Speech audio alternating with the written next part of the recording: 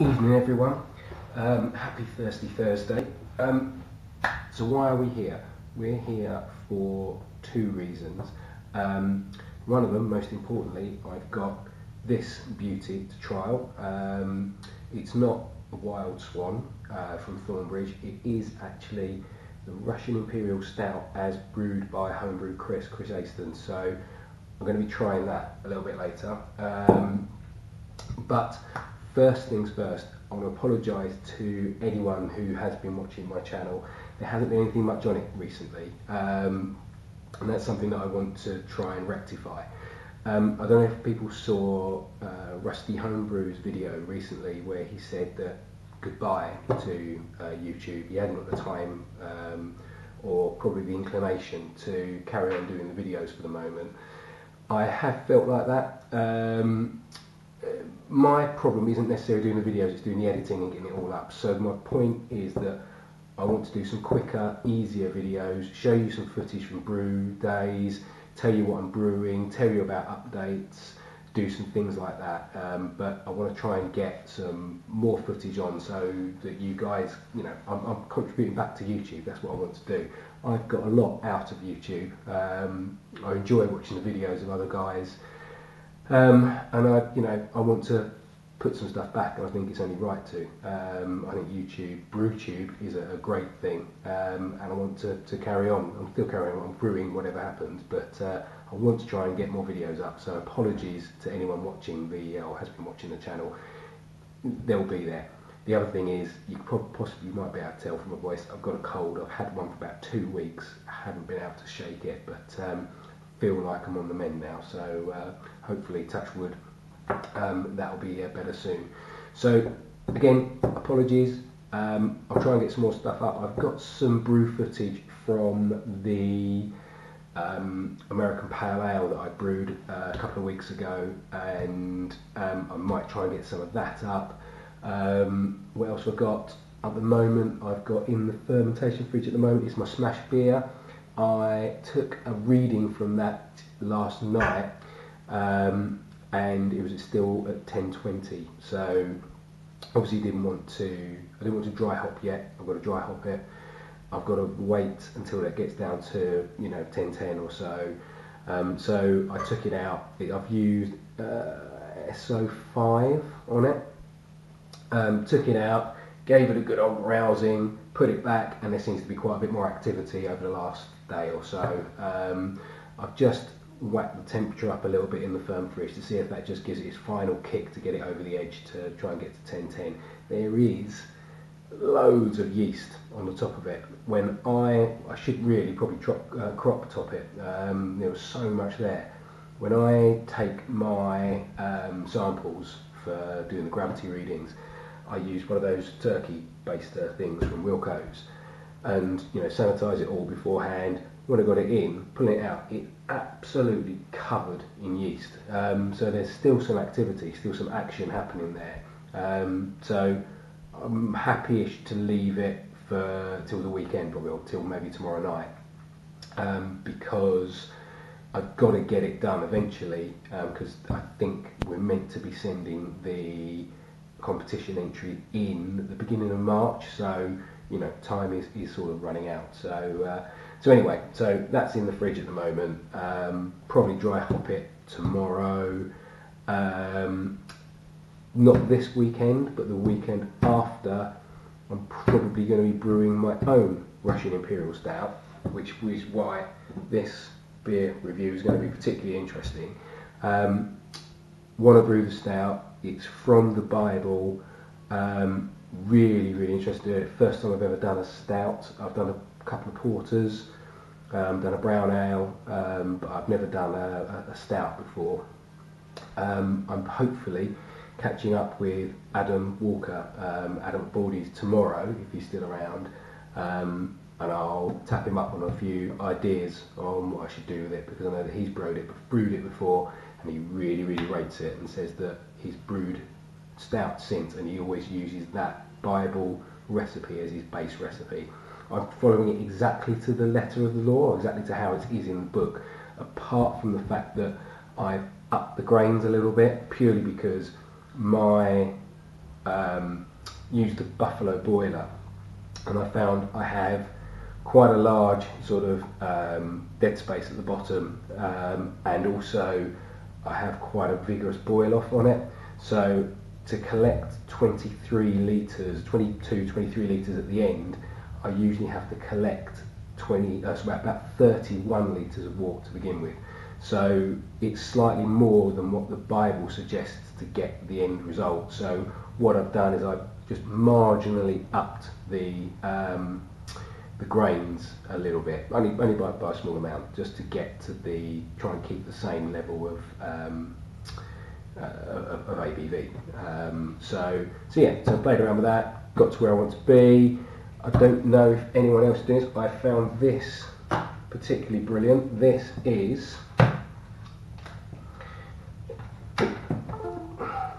here, this um, spreadsheet. It's created by um, Larry, off, well, fucking hell, created by Larry off of Beer and Barbecue Larry. Um, if you go onto his site, I might see if I can put a link actually. If you go onto his YouTube, YouTube site, he has a link that shows you where to get this spreadsheet from. Absolutely brilliant. Um, it's really helped me a lot um, to really understand what's going on. It's essentially it's Beersmith in Excel spreadsheet form. But what really interests me with it, and what I really like about it, is you can uh, you really uh, it's really helped me understand exactly what's going on, sort of under the bonnet, if you like. Um, and now I find that I can tweak things really easily. So this, for example, tweaking the grains to get to my correct ABV that I want, I found it really, really simple to do it. Um, and it's just, you know, there's all the formulas, you can see them all in here, and it's really an interesting way to, to get to, to where you're doing. Um, I've got Beersmith, excuse me. I have got Beersmith, but you kind of, when I was using it, I'm like, what, what's going on? If I do this, what's really happening? Now, I may go back to Beersmith and start using it again, but hopefully I'll understand a bit more about exactly what's happening under there by tweaking certain things, what the impact of that's going to be further on. So, really interesting, really, really useful tool. And I say I'll put a link down to uh, down to where you can get hold of that um, if you want to try it, obviously.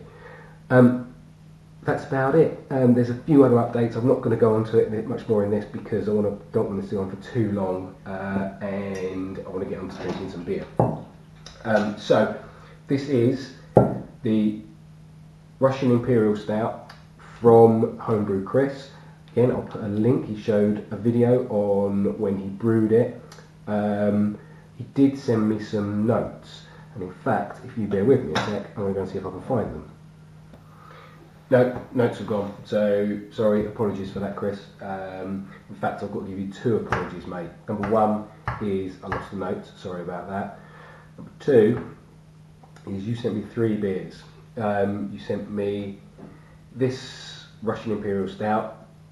You sent me breakfast stout, and you also sent me your um, grapefruit IPA your grapefruit IPA, I mistakenly drunk thinking it was something else without reviewing it. So I wanted to review it. Um, I apologise, Chris, um, but uh, I drank it. It was in the fridge with another bottle, and I drank your one thinking it was the other one. When I drank it, as soon as I started drinking it, I was like, "That's not what I was thinking it was." And it was the, meant to be. I'll forget it. I didn't review it, so apologies for that, mate. But anyway, let's crack on with this.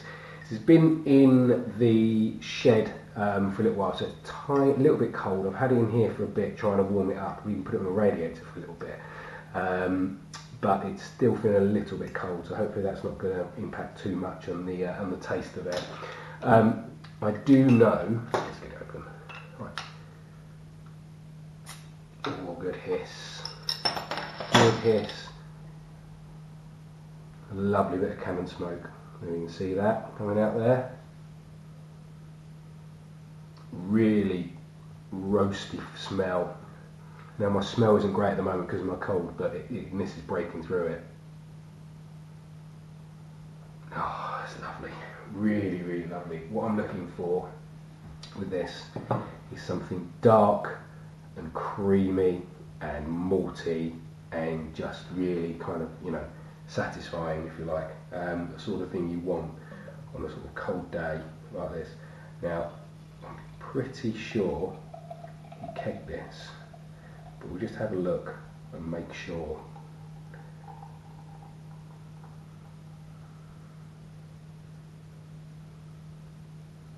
Let's just have a look.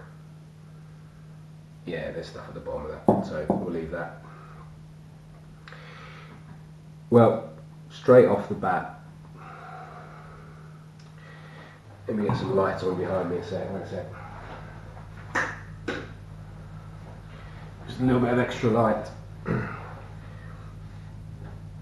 Well, the look of that is absolutely beautiful. I don't know if you'll be able to see. Completely dark. Got some foam here. Um, so what I'll do,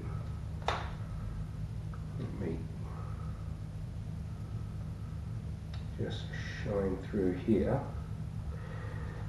You know, you're not getting anything at all through that whatsoever. Look, thick, dark, exactly what you want from a you know a great stout. Head, tiny little bubbles, a beautiful creamy cap. You, know, you can see that. See if you can see that. Can you see that? Good days. Beautiful creamy cap there, tiny bubbles, lovely colour.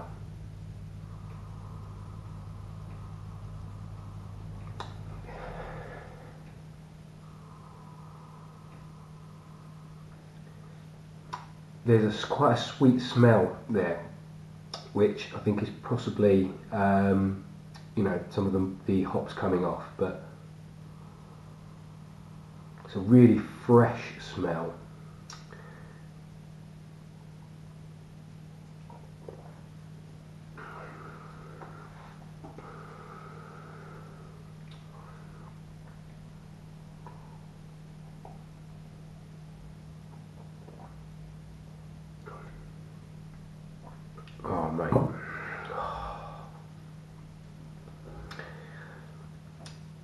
Absolutely divine.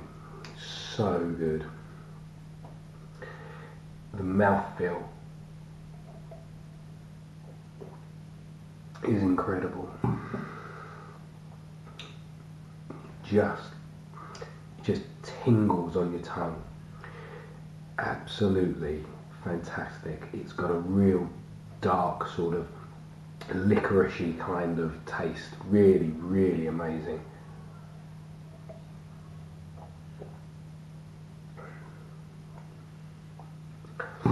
There's a sweetness at the back of your tongue that gets there. You've got you've got all of the, the characteristics of a, of, a, of a really strong, deep stout. It absolutely, as you drink it, the mouthfeel it just coats your tongue.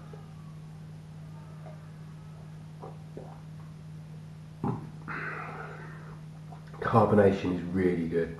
It's not too heavy. You get like that slight fizz um, when it goes onto your tongue, but it's not. You know, with me, stouts, to the darker beers for me, your stouts, your um, uh, your, your well, your black IPAs to a certain respect, but your certainly stouts and your porters really need just that low level of carbonation. It needs to be there to give you a nice head, helps you with the creaminess um, and the mouth feel. But I've had so many commercial stouts, uh, the porters, actually in particular, that it's like drinking a diet coke or drinking a can of coke or something like that. It, it was just there's just too much fizz in it and it ruins the drink. This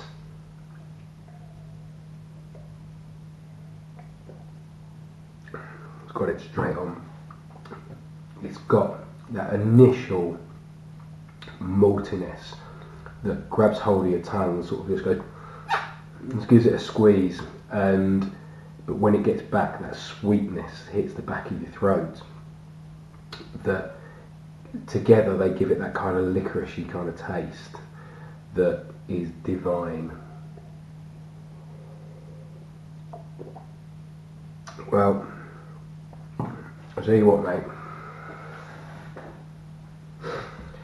I'm brewing one, as I say, in a couple of weeks' time, and I'm going to have to go back to your video and see exactly how you did this because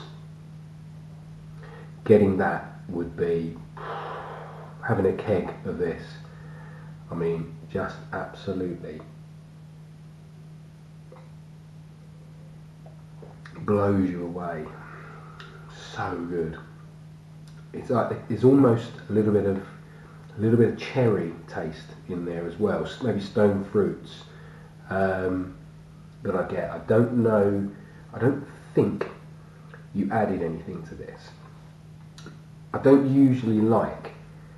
Um, not usually on one for to have like your bourbon stouts and whiskies and all that sort of thing aged in. I'm not a massive whiskey drinker myself. If this had a tiny hit of that, it would take it. For me personally, it really would take that well. Um, I don't think you did that. I don't think you did anything with it. But Chris, if not, mate, that's just drinks perfectly as it is, absolutely perfectly. Really, really hope mine comes out like that.